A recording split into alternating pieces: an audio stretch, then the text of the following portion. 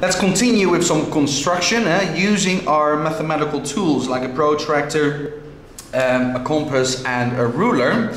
And in my previous videos I've constructed triangles eh, using these tools which was beautiful. You can find those resources all by the way on my site explainingmaths.com. Yeah, everything for free. Okay, what are we going to do now? We are going to construct a parallelogram. Yeah, we all know what a parallelogram looks like and what the properties are.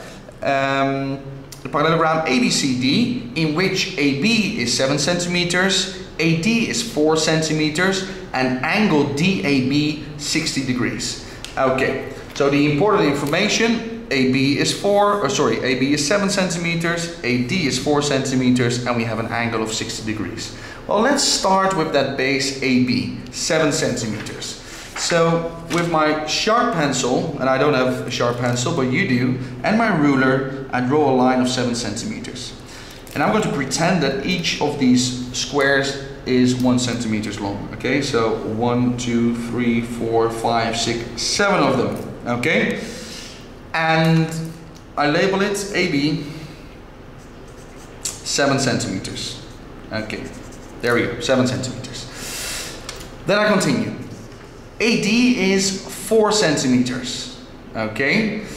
Um, now, from A to D is four centimeters. Well, that could be in all directions still. I could now use with my compass, open it on four centimeters, draw the arc, and then I know point D should be somewhere on that arc. However, perhaps it's better to say, or to draw this angle first, because they say DAB, so that's the angle at point A, is 60 degrees. Yeah? So the angle at this point should be 60 degrees. So let's let's let's draw that angle 60 degrees um, which is an acute angle so in this direction eh? I've show you in different videos how to do that.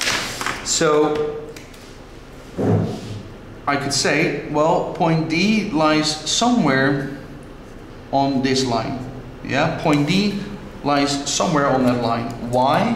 Because this is 60 degrees. And they say that AD, the length of A to D is 4 centimeters. So again, now I can take my ruler, measure 4 centimeters, yeah, and in a 60 degree angle, there we go, 4 centimeters, and that is point D over there. Beautiful. Properties of a parallelogram you should be familiar with is that this line is parallel with that line and this line is parallel with that one okay? So there are two things I can do now.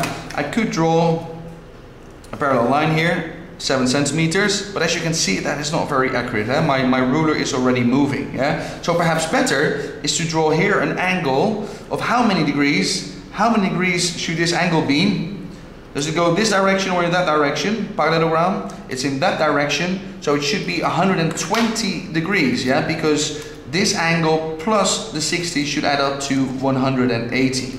So I'm going to put it on 120 degrees, which is an obtuse angle, and I'm going to draw the dotted line, and then I realize that point C should be how many centimeters away from point B?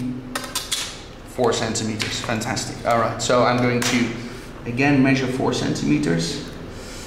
There we go. Beautiful. And you do all of this with a sharp pencil, eh?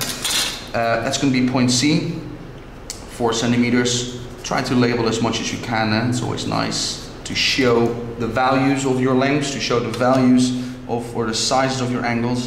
And then finally, I'm going to accurately connect these two points. Boom! Beautiful. What a beautiful parallelogram what great to work with these tools, yeah, these mathematical tools, and to create something accurately. Okay. Um, like and share this if it was useful, yeah? I can help your friends too then. And check my site explainingmaths.com for all my resources, yeah? You can also ask me any questions you have there on my forum and I will help you. I'll see you later. Bye-bye.